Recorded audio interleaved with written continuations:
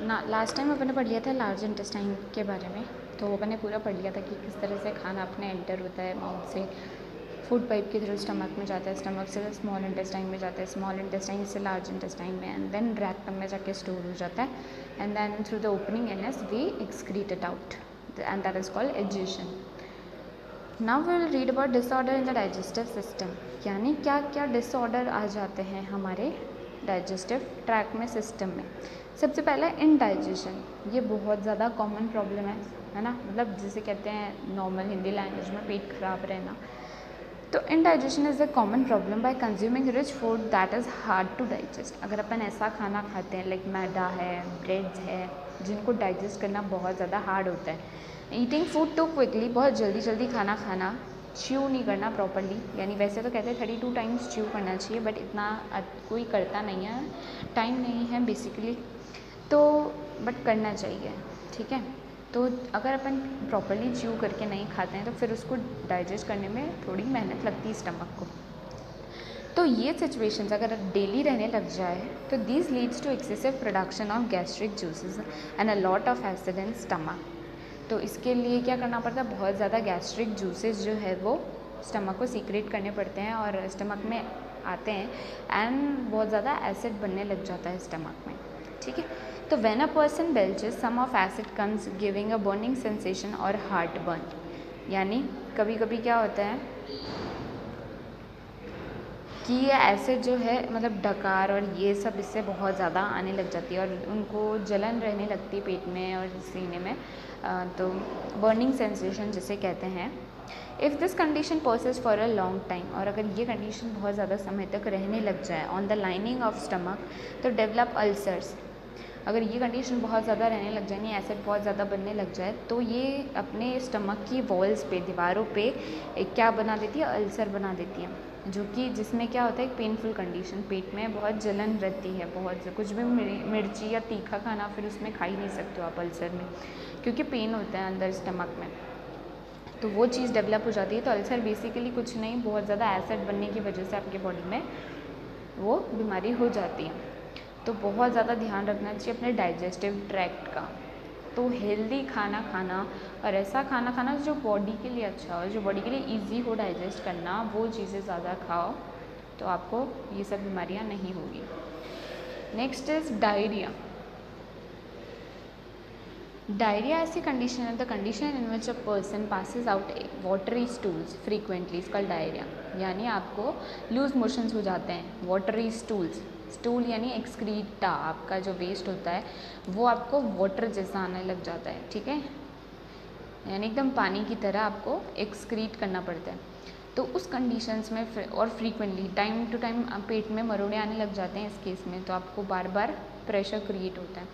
So water stools आते हैं और इस कंडीशन को हम डायरिया कहते हैं। तो डायरिया में भी कॉज बाय एन इन्फेक्शन कोई तरीके का इन्फेक्शन भी हो सकता है आपको। इट मीन्स आपने कोई माइक्रो ऑर्गेनिज्म आपके बॉडी में एंटर कर गया हो। डिज़ीज़ कॉजिंग डिज़ीज़ करने वाला माइक्रो ऑर्गेनिज्म फ़ूड पॉइजनिंग या फिर इंडाइजेशन इंडाइजेशन की वजह से भी होता है या फ़ूड पॉइजनिंग यानी आपने कुछ गलत खा लिया हो खाने में, ऐसा खा लिया हो जो नहीं खाना चाहिए था लेक फटा हुआ दूध पी लेना, या कभी फंगी लगी हुई चीज़ें खा लेना तो उन केस में हो जाता है।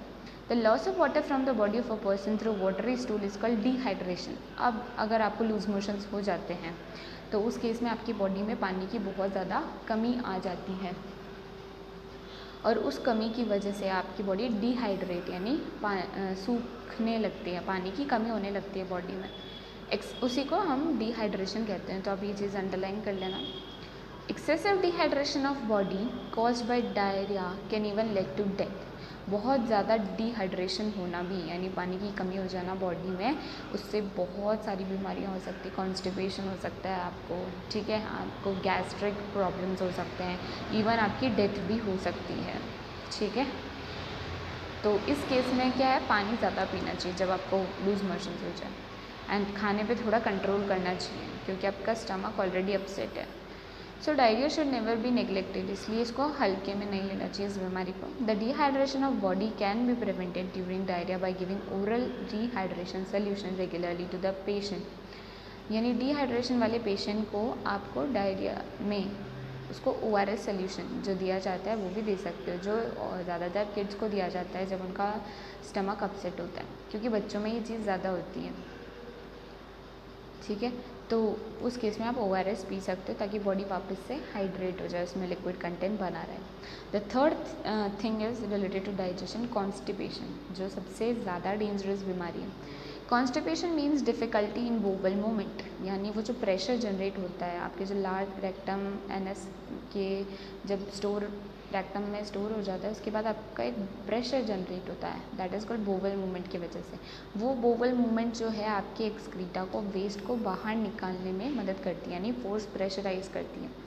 अगर बोवल मूवमेंट नहीं होता है तो hard it is very hard to excrete मतलब it will be the excreta will be turn like a stone तो उसको बाहर आने में बहुत दिक्कत हो जाएगी बॉडी से। पैसेज ऑफ़ स्मॉल और हार्ड स्टूल्स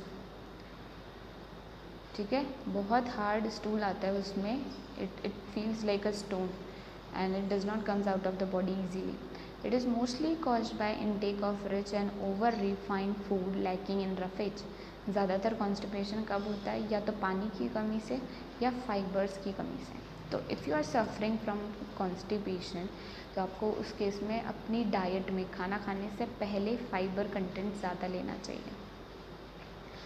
खाना खा, ठीक है? फ्रूट्स एंड रॉ वेजिटेबल्स तो इस केस में फाइबर सबसे ज़्यादा किसमें होते हैं? रॉ वेजिटेबल्स यानी सैलड वगैरह है बीट रूट वगैरह है फ्रूट्स है। They are a good source of roughage and can help in this condition तो इस कंडीशन में हमें ये बहुत ज़्यादा हेल्प करते हैं, ठीक है? तो फ्रूट्स एंड रॉ वेजिटेबल्स में अच्छा फाइबर होता है तो कॉन्स्टिपेशन में आपको मदद करेगी। कॉन्स्टिपेशन का एक और रीज़न है अपनी डाइट में पानी की कमी हो जाना। यानी अगर आप खाना खाते हो, बीच में बिल्कुल भी पानी नहीं पी रहे हो ठीक है? और फिर एक घंटा पहले और एक घंटा बाद में भी नहीं पीते हो। तो बीच में पा, थोड़ा पानी चाहिए बॉडी को, अगर आप नहीं पीते हो तो आपकी बॉडी में अगर ये आपने बहुत लंबे टाइम तक किया, यानी लगभग एक साल तक आपने ऐसे ही किया कि खाने के बीच में बिल्कुल पानी नहीं पिया तो आपकी बॉडी कॉन्स्टिपेशन से सफ़र कर सकती है। तो पानी की कमी से भी कॉन्स्टिपेशन होता है। इसलिए अपने खाने के बीच में डाइट के बीच में टू सिप थ्री सिप इतना ही पीना है, इतना हाफ़ ग्लास वाटर जिसे कहते हैं, उतना आपको पीना है।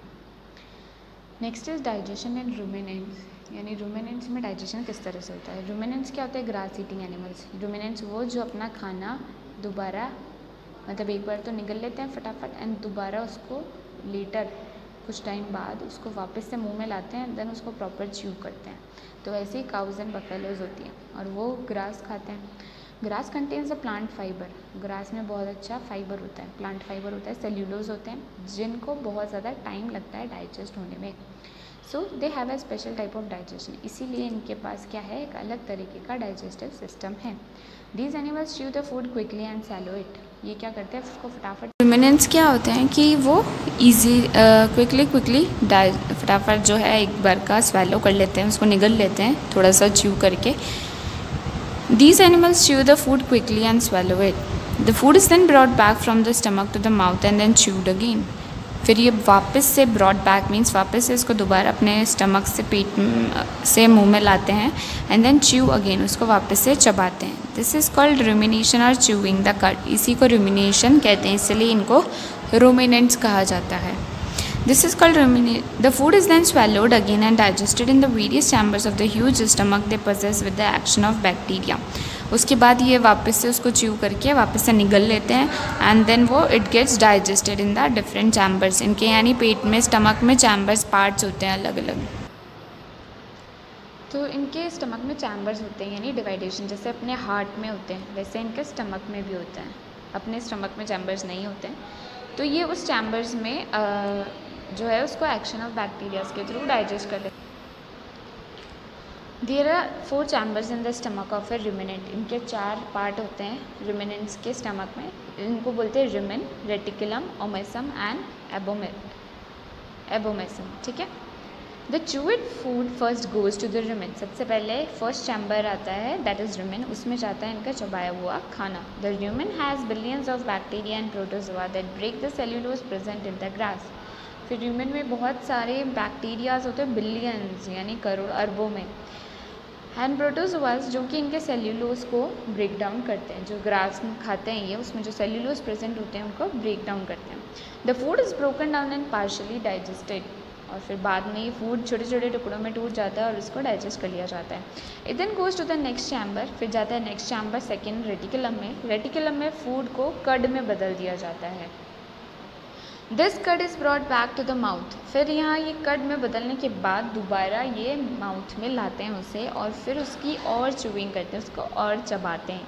तो reticulum has a honeycomb like structure जो रेटिकुलम सेकेंड चैम्बर है, उसका मधुमक्खी के छत्ते जैसा स्ट्रक्चर होता है that helps in moving the swallowed food back to the mouth for chewing again जिसकी वजह से इनको मदद मिलती है कि जो स्वेलोड फ़ूड है, जो चबाया हुआ खाना है, उसे वो फिर से मुँह में ला सकें। दिस रीच विट कड इज़ स्वेलोड अगेन फिर ये जो दोबारा चबाया हुआ कड है, उसे वो वापस से निकल लेते हैं। And pass on straight to the third chamber और सीधा थर्ड चैम्बर में जाता है वो, यानी वन और टू चैम्बर में जाने के बाद वो वापस से माउथ में आता है एंड देन माउथ से सीधा डायरेक्टली जैसे अपने हार्ट में वन और टू जो लेफ़्ट साइड होता है, उसमें पहले जाके वो पूरी बॉडी में जाता है एंड देन बॉडी से सीधा थर्ड फोर्थ पार्ट में जाता है, उसी तरह से यहाँ पे and then it goes to the third part omasum by passing the rumen and reticulum यहाँ पे रेटिकुलम और मतलब उससे बस पास होके जाता है रुमिनेंट रेटिकुलम से। उसमें कोई वर्क नहीं होता दोबारा, ध्यान रखना, ठीक है? तो सीधा थर्ड चैम्बर में ही उसमें वर्क होगा तो इसलिए बोलते हैं सीधे थर्ड चैम्बर में ही अब वो जाएगा। उसमें ही काम होगा। बस फ़र्स्ट से एक बार का रास्ता है, वो बना लेगा पास कर लेगा। This chamber most of the water from the cud is reabsorb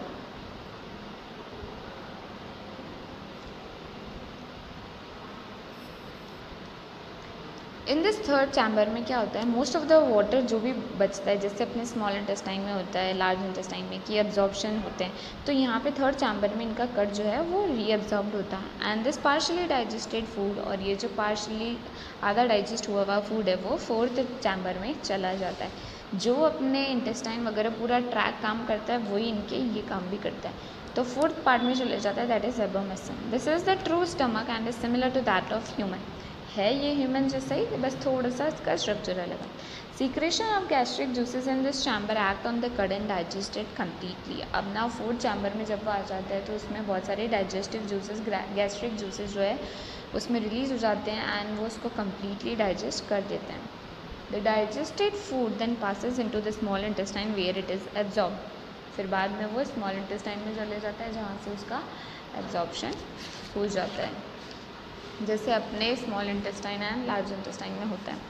teeths of रूमिनेंस ruminants के भी इंसीजर्स होते हैं मोलर्स होते हैं प्री मोलर्स होते हैं। ठीक है? कनाइंस नहीं है। They do not have canines because they are herbivorous क्योंकि कनाइंस किन्हें चाहिए? जो नॉन वेजिटेरियन फ़ूड खाते हैं। And they do not have to tear any flesh और इनको कोई मीट चबाना ही नहीं पड़ता है या काटना ही नहीं पड़ता है इसलिए इनको कनायंस नहीं होते हैं। इनके सिर्फ़ ये थ्री टाइप्स ऑफ़ टीथ हैं। They have sharp edged incisors in front of which are use for cutting grass इनके फ्रंट इंसीजर जो होते हैं, वो काफ़ी शार्प एजड होते हैं ताकि घास को तोड़ने में इनको मदद मिल सके कट करने में।